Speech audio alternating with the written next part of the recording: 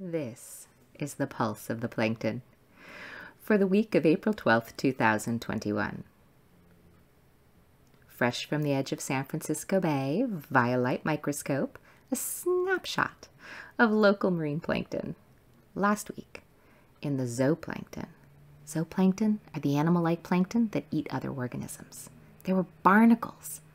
And before barnacles settle, like these mature gooseneck barnacles have, they live as plankton, drifting in the water column. Barnacle larvae, called nauplii, were present and common in the plankton early in the week, but by the end of the week they were just one of the crowd of zooplankton. Copepods, both adult and young nauplii, were common, with more of their nauplii bouncing around the sample later in the week. There were still a few copepods, with paratrix ciliates again this week. Ciliates are single-celled, vase-shaped organisms with wiggling cilia. A Pluteus larva, probably from a sand dollar, looking like a spaceship. And a cyphonaut larva of a bryozoan, shaped like a squashed party hat. This tiny ctenophore, a sea gooseberry, had such long combs, plates of fused cilia that it uses to move. No pulse would be complete without worms. This week we had many more polychaetes, a beautiful scale worm, also a spionid and a phoronid. And of course, a mystery egg. Who are you? A planula, some kind of worm larva? It wouldn't slow down long enough for a good look. A lone foram showed up. The single-celled organism makes a shell-like structure that spirals. Last week in the phytoplankton, the phytoplankton are the plant-like plankton that make their food from sunlight, water, and carbon dioxide. Protoperidinium, a dinoflagellate, was present in the plankton, but only a few here and there.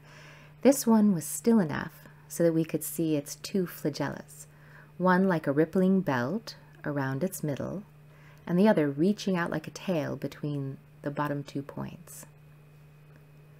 Diatoms are single-celled algae with cell walls of glass like opal.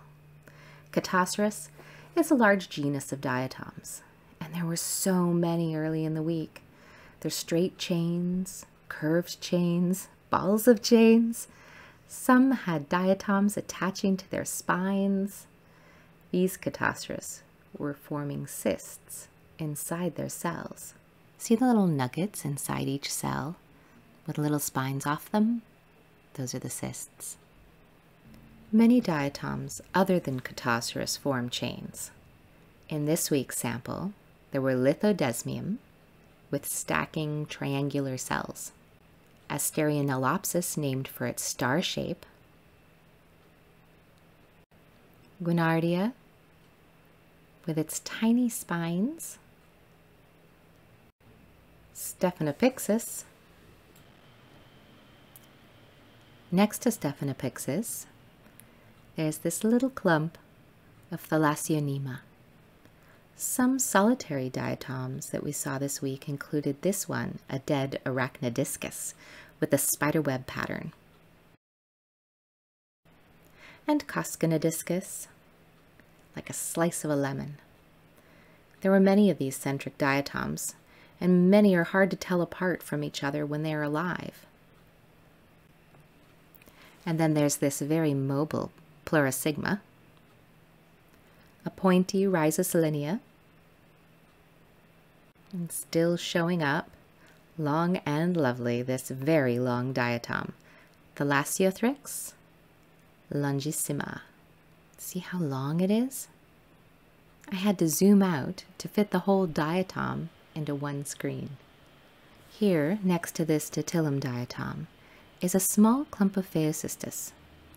They are not diatoms, and in large numbers, they can be a major component of sea foam. Pacific Coast, ocean weather. Simply a spring banquet is underway in the plankton food web. Diatoms, especially Chaetoceros, have been fueled by nutrients in upwelled deep waters and are surging Copepods are common and active, feeding directly on the phytoplankton feast. And they are certainly not feasting alone. Think of all those barnacle bellies early in the week. Full and golden with algae. This banquet does not appear to be localized. Several weeks ago, net tows up and down the state were replete with Chaetoceros. This week, dinoflagellates became firmly dominant in samples from Point Conception south, while Northern California sites continue to see diatom dominance. If we look, we can see this pattern echoed in coastal physics. Point Conception, often a key breakpoint in our coastal oceanography, is the Nubby north of Los Angeles. North of the Nubby, we see strong upwelling winds, red arrows streaming down along the coastline, and sites are reporting diatom dominance. South of the Nubby, the winds along the coast are weaker, green and blue, and sites are reporting dinoflagellate dominance. And look at this. The same pattern is visible in water temperature. Here we can see the sea surface temperatures are unusually cold, which is blue, or warm, which is red, and those dinoflagellates south of Point Conception flourishing in unusually warm seawater and those calmer winds. The diatoms north of Point Conception enjoying upwelling winds and the cold, nutrient rich waters they bring. So, springtime upwelling off Central California. Just how exceptional has it been this year? Pretty exceptional. Now, stay with me. I want you to focus on this here. This is the Little Chick constellation. The dark blue dot at the tip of its tail is January, and from there we move through the year February, March, April, all the way round its belly back to December. The chick constellation maps our typical year in terms of nutrients and upwelling. Usually in April, we're around this light green dot at the top of the chick's head. But this year, we're way up here this week in April is the light green dot way up at the top. In the land of unusually high nitrate and upwelling, we are way, way off chick. That was Pulse of the Plankton for the week of April 12th, 2021. Like and subscribe for more plankton related content. And remember, always support your local National Marine Sanctuary.